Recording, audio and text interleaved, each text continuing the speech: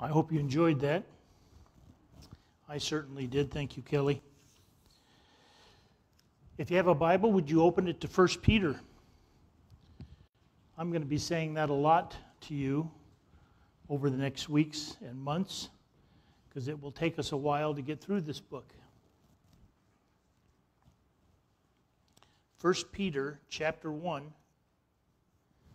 I'm going to be reading verses 1 through 3. Please follow in your Bibles as I read.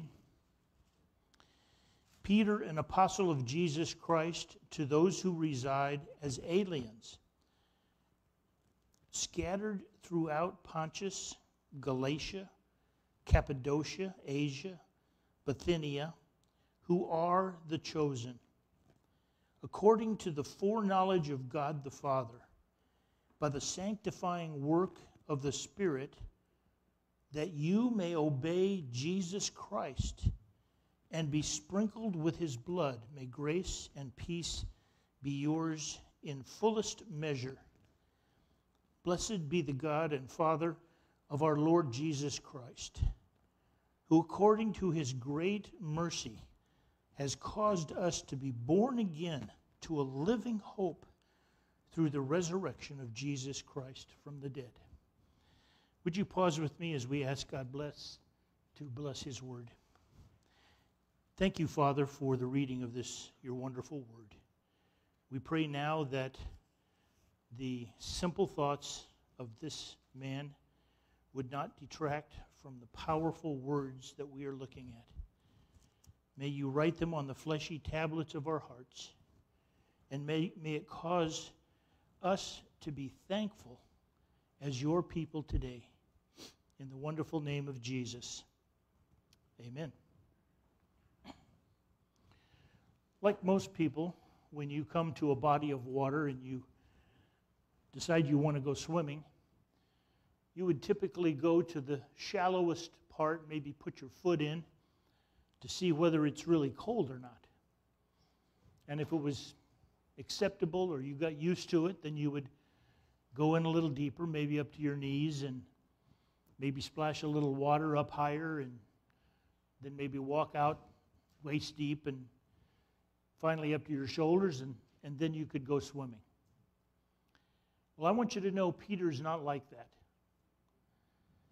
Peter, if he were to go swimming, based on what we studied last week and what we will see this, uh, this week and coming weeks, Peter would strip down and he would dive into the coldest, deepest into the pool immediately.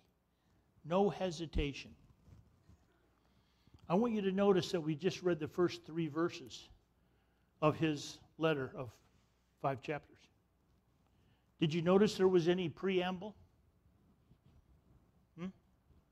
Did, did, did you see anything that would resemble something of a personal nature, like, how's your wife and kids? How's your neighbor Malachi? I remember he was having some trouble with his hips. Greet your family. Greet, greet the church. Do you see any of that in the first three verses? No, of course not. That's not like Peter he jumps in to the deep end of the pool and he begins talking about in these first three verses one of the most difficult doctrines in all the Bible. It's typically called election, predestination, the foreknowledge of God in salvation. And here we are introduced to it immediately as he begins writing. Now, for the history buffs who are here, you're going to remember that around 64, 65 AD, one of the most important events took place in world history. As a matter of fact, the actual date is recorded for us. It is July 19th, or not 19, 64 AD, July 19th, 64 AD. It's the day that Nero lit Rome on fire He burned the city to the ground. And then, as history records, he was off on a mountaintop fiddling while Rome burned. And it burned for three days. It Took him three days to put it out. Most of the structures were old and wooden, and thousands of people died. And not only that, he accused the Christians of doing it. Yeah. He said the Christians were the ones who lit Rome on fire. And a huge persecution took place all over the Roman Empire. People were killed, people were burned to death, their homes destroyed. And so, Peter doesn't have time for niceties. He writes around 64, late 64, 65 AD. So this event has just taken place. And this persecution is running rampant throughout the Roman Empire at this time. As a matter of fact, he names the places where it's the worst Pontus, Galatia, Cappadocia, Asia, Bithynia. Those were all providences where this persecution was the worst. And so he's writing originally to people who were under tremendous persecution. Many of them have lost friends, neighbors, family. And this is one of the worst things that anyone could have conceived of. So Peter doesn't have time for niceties. He doesn't have time for a friendly letter. He goes right into the deep things of God. Look at verse 1 again. He says, Who are the chosen? That's who he's writing to. The chosen. And he calls them aliens. Now, these are not from outer space, these are aliens to this world. It's also called strangers. Maybe, maybe it's translated strangers in your Bible. It's the same Greek word aliens and strangers. We, we, the children of God, are aliens and strangers in this world. And so, not only did it have immediate application to the people who received the letter, it has had application for centuries right up to this day, including you and me. We are the aliens to planet Earth. We are the strangers on this planet. This world, we have a line, don't we, in a great hymn. This world is not our home. We're just a passing through, right? Famous old hymn. And it's so true. We have got to live like aliens. We've got to remember that this is not the best of life. As a matter of fact, our lives really begin at our physical death. That's when the quality of our lives, as we read about the scriptures going to heaven, is going to be like. What a wonderful time. Now, most of you listening to me today are not my age. As a matter of fact, the longer I live, the fewer of us there are. And I always heard older Christians say to me when I was a younger Christian, you know, heaven is such a wonderful place. I can't wait to get there. And I'd be thinking to myself in my head, well, I can wait. I, I've got a few things I'd like to do, you know. But now that I am older, I am that generation, I understand what they're talking about. A lot of my friends, a lot of my family, a lot of the believers that I've known through the years are already up there. They're ahead of me. I look forward to seeing them again. So it, it has a wonderful appeal to me, and it's very real. It's not something I have to hear somebody talk about and then shake my head like I know what they're talking about, but really don't. This is a wonderful truth, church. Aliens. Then he calls them the chosen. Do you see it in your Bible? Who are the chosen? That's us.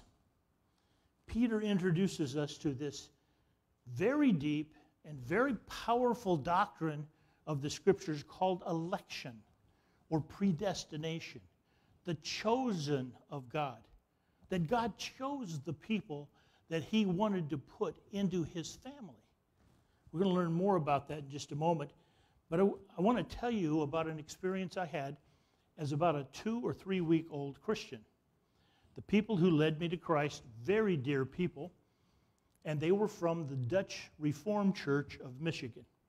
And this was a powerful truth to them.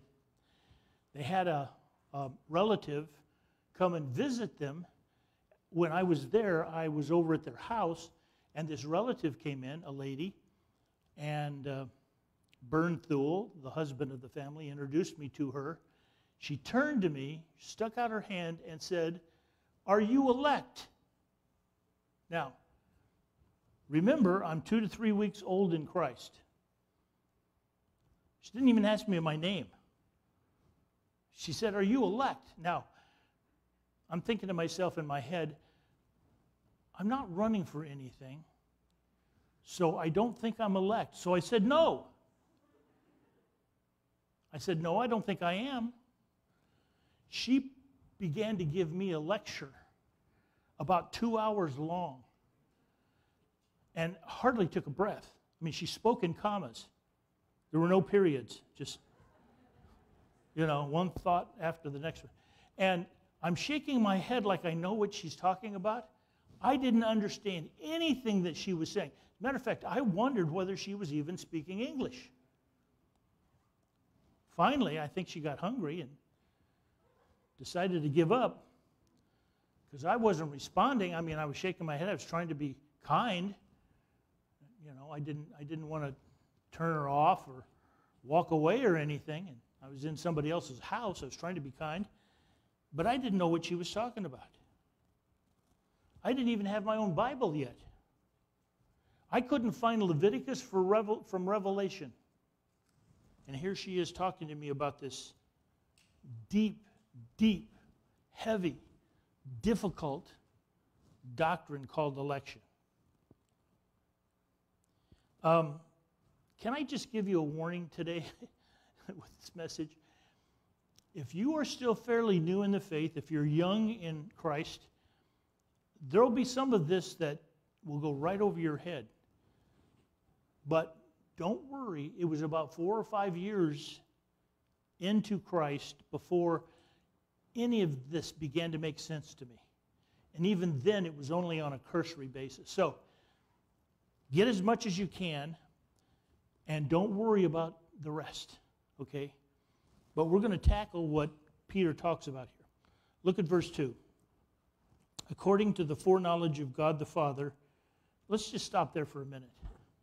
This is telling us that God the Father foreknew, his knowledge was beforehand of who he would choose, oh, of who he would choose. That's the end of verse 1. The chosen. Now, the chosen means marked out for special favor. That's what it means.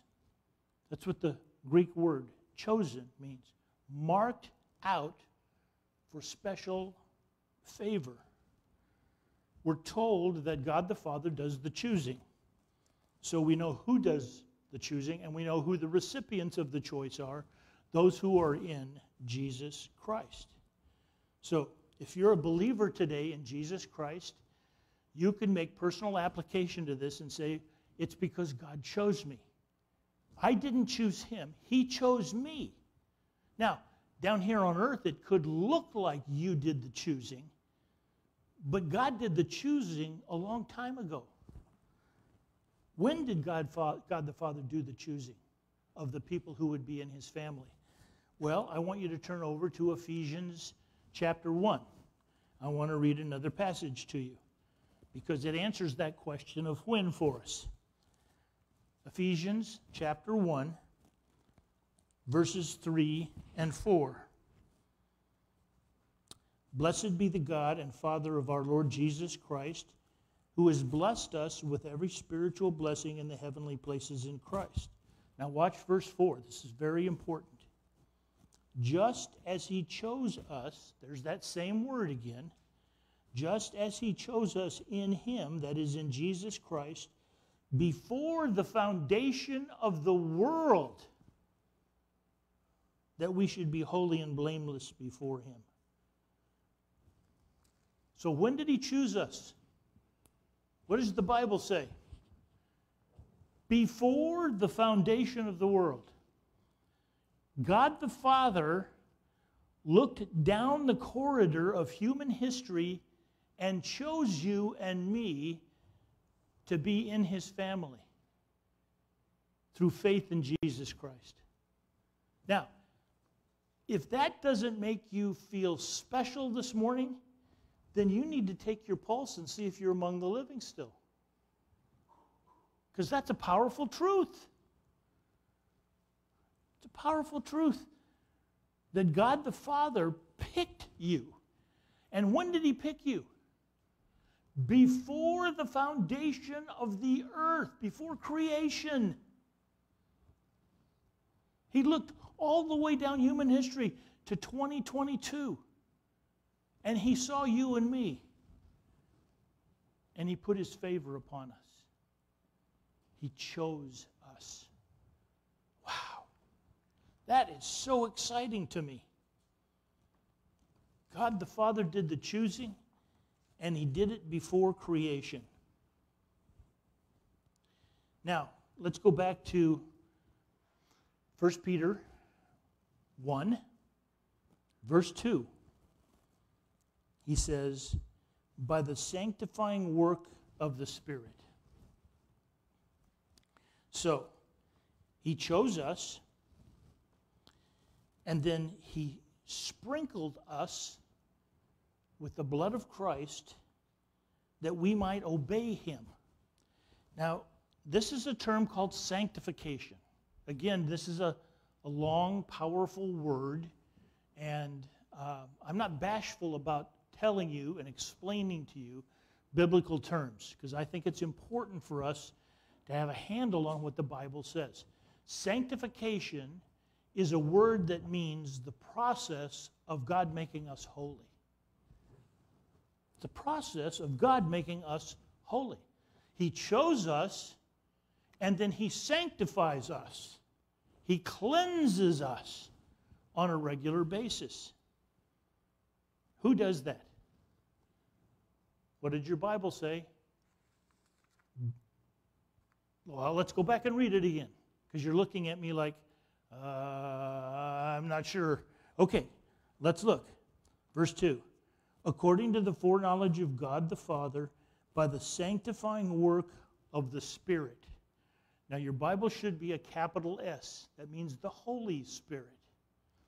This is the job of the Holy Spirit is to sanctify the chosen ones of God. That's what he does. He sanctifies us. How does he do that? Well, do you remember the last time you were about to sin? You were enticed to sin? Don't look at me like that, like you have no idea what I'm talking about. Stop that. You know what I mean. You were enticed to sin and you heard something. What did you hear? Don't do that, Jerry. Stop thinking that. That's the active voice of the Holy Spirit working on the sanctification of Jerry Mitchell, and you too.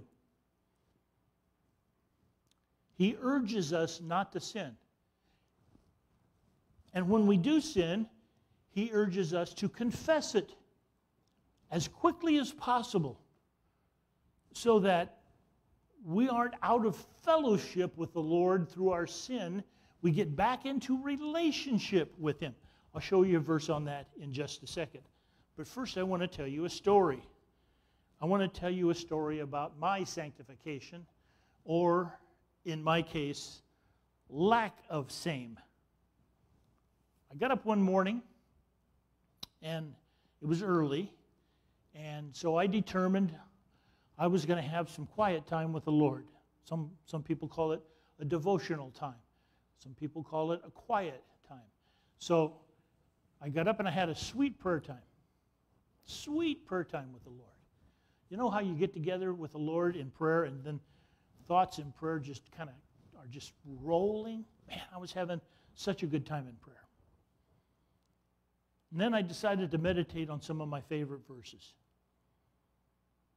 Meditation is a great form of sanctification because it's the cleansing power of the Word of God inside of us. And then I did some Bible reading. I don't know, maybe an hour, hour and a half in total. Don't always spend that much time in my devotions, just to, just to be honest with you, so you don't think, well, Pastor Jerry is so holy. He gets up and spends hours with the Lord every day. No, I don't. But I did this day. And I, when I was done, I thought to myself, this is going to be such a good day. When I get done with this day and when I lay down on my pillow tonight to go to sleep, I'm going to look back on today and this is going to be one of the best days I've ever had in my whole life as a Christian. Then the phone rang. And it was a very angry man. And the longer he talked, the more he got angry with me. He was like Mount Vesuvius, he was exploding. And he had lava all over my room. I had ash on myself, and I could just feel. You know how you feel when your anger starts to grow and it's coming up, and you, you want to hold it down, but you, you can't, and here it comes.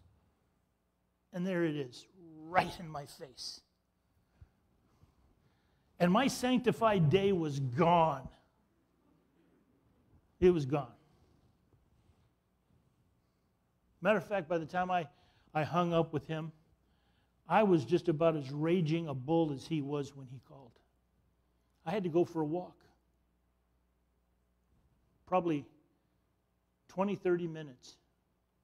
I had to confess to the Lord. Not once,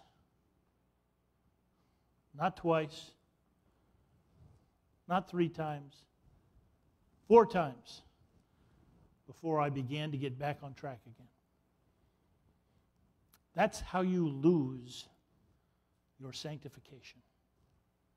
And I lost it. You say, well, this must have happened a long time ago, Pastor, because you're so much older and so mature now. About three months ago. Yeah. I was still the same age I am now. You can lose your sanctification just like that. That's what sin is like. What does Proverbs say? It's like a lying waiting at the door. don't, don't open the door because it will eat you alive. Well, the job of the Holy Spirit, and He never quits, He never gives up, He never is tired. He never says, you know what, Mitchell? You're a lost cause. I am tired of correcting you. I am tired of filling you. I am tired of your antics. Never. Never. So, his job is to confront our personal sin, to urge us to ask the Lord's forgiveness, to be put back into fellowship with the Lord. Okay, I'm going to turn to a passage, and you know how sometimes I urge you to memorize a scripture we look at? Here's one that I would love for you to put to memory. 1 John 1 9. If you don't already have this verse memorized, then you should put this verse to memory. If we confess our sins, he is faithful and righteous to forgive us of our sins and to cleanse us from, what does your Bible say? all unrighteousness. He leaves no stones unturned. Doesn't matter what it was. If we confess it, He is faithful and He will forgive. Praise God. Put that to memory and use it. Because you know what? I know our adversary. I've fought with him all of my Christian life 55 years. I've fought with the devil. And he wants to come and say, you know what? That's it. it you're over the line. That's too many. He won't forgive you anymore. You ever heard that before? Oh, I have. Don't you believe it? Your Bible says all unrighteousness. And He will put us back in fellowship with God. And it's like whatever happened is gone. He sprinkles it. By the way, you, you know that concept that Peter talks about the sprinkling with blood? He, he draws upon his own experience as a Jew in, in the, in the, um, the worship and religious ceremonies of the Jewish people. They would bring a spotless lamb, and the father of the household, he could, he could represent 10 people 10 people. And he would put his hands on the lamb and he would confess his sins. And then the priest would kill the lamb and sprinkle the lamb's blood on the mercy seat as a symbol that they've been forgiven. God heard you, he forgives you. Well, we don't have to do that anymore because Jesus Christ shed his own blood. He was the Lamb of God. And so we don't need to do that anymore. But we do need to confess. I once had a Christian say to me, I haven't confessed a sin in three months. Young man. It's always the young guys. Young man comes to me and says, I haven't confessed my sins in three months. I said, Really? And how do you feel? And he looked down at the floor and said, I feel dirty. I said, Well, that means the Spirit of God is working in your life. I said, Let's, let's walk over here and, and you just spend some time confessing. And I'll stand here with you as your witness. And when you're done, I'll close in prayer and thank God for your forgiveness. And he did.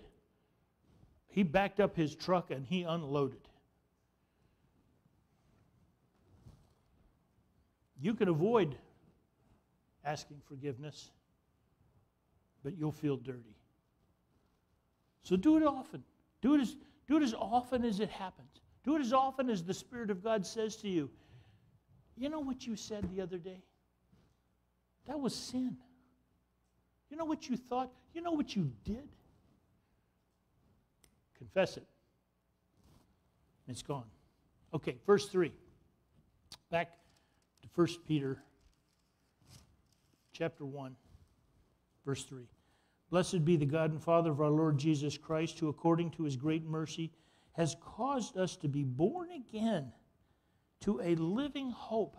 Living hope. Does that sound familiar to anybody here? Yeah.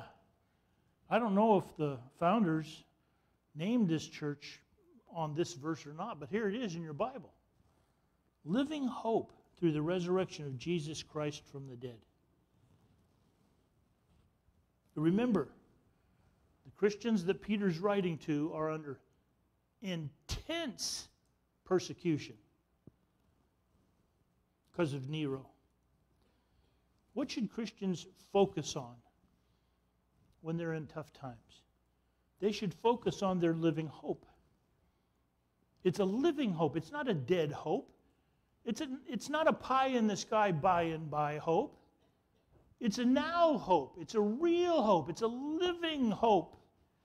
It's available to us every single minute of the day.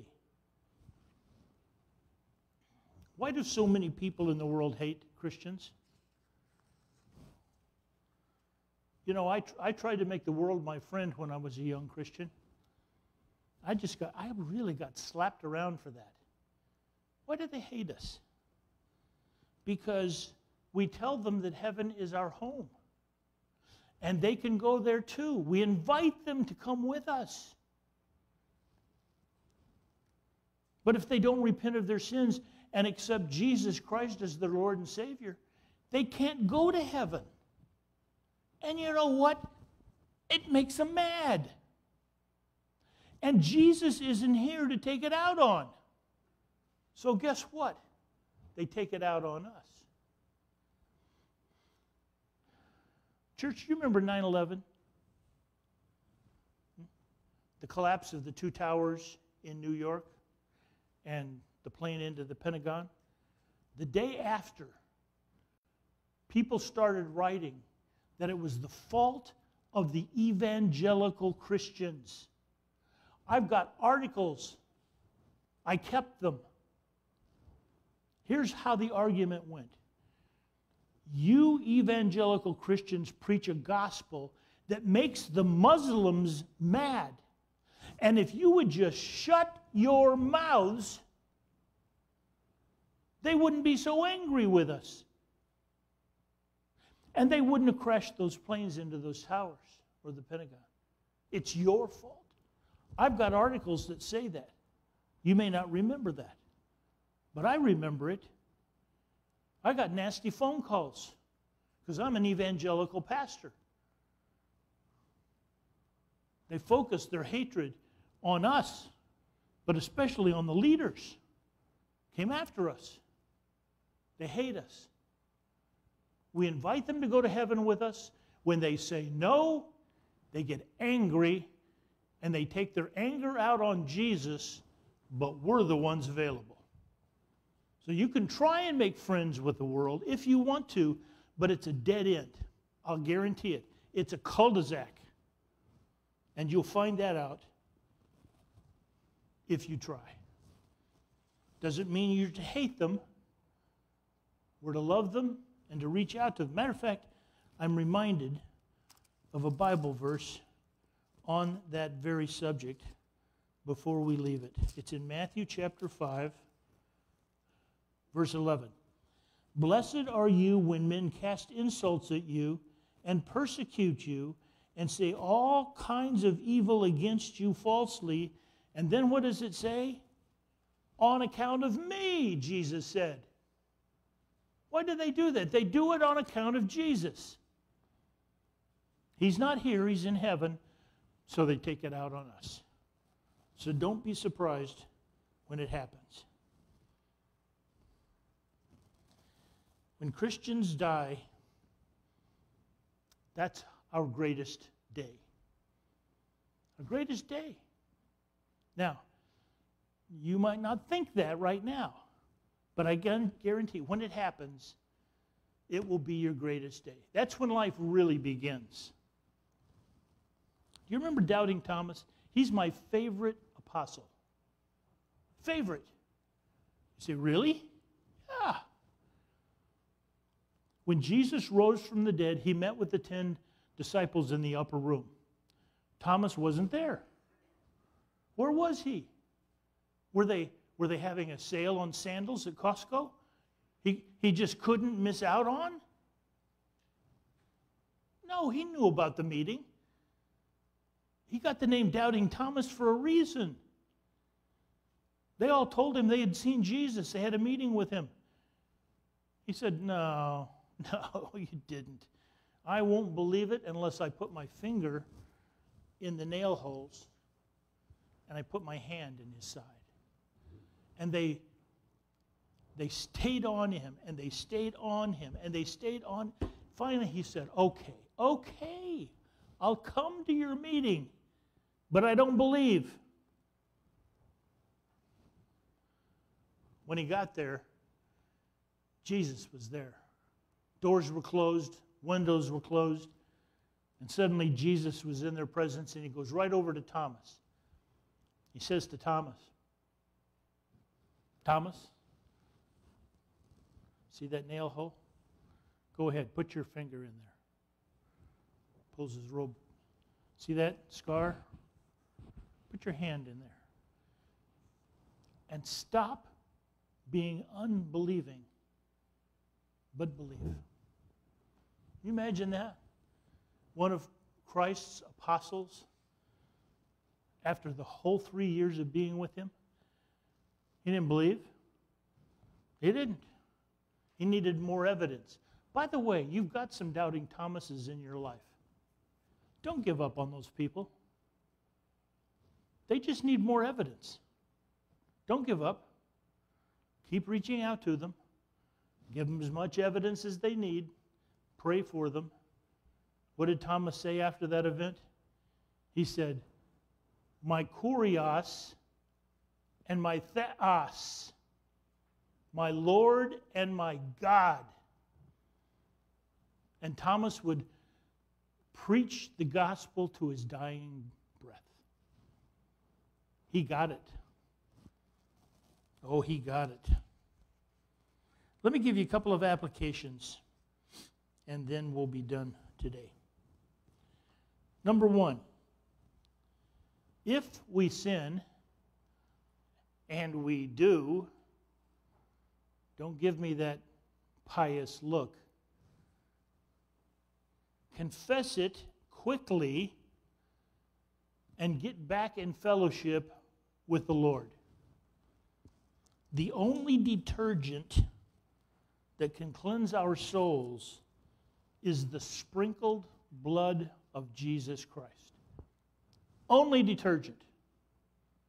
Nothing else will do. Secondly, take a moment before you leave the building today, while it's still on your mind, and thank Him for choosing you. We were sinners. We're not better than anybody else. But He picked us, He chose us. We give Him the credit, not some of the credit. We give Him all the credit. We were dead in our trespasses and sins, and He found us. Would you join me in closing prayer?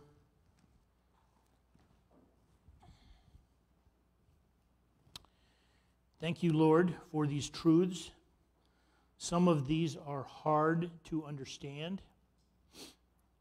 but we thank you that you have written them down for us and that over a longer period of time as we wrestle with your choice of us it will seep into our souls. But we want to say to you today before we leave, thank you, Lord, for picking us. You made it abundantly clear in your word today that you were the one before creation that chose us to be your own. And we want to say thanks. In Jesus' name, amen.